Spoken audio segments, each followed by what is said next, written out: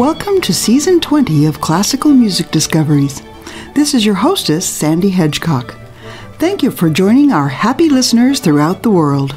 For complete information on how to submit your music for airplay, to advertise on our show, or to visit our online music store, please visit our auxiliary website at classicalmusicdiscoveries.store for complete information. Please don't forget to like the broadcast you're listening to so the composers and musicians know you like their musical contribution.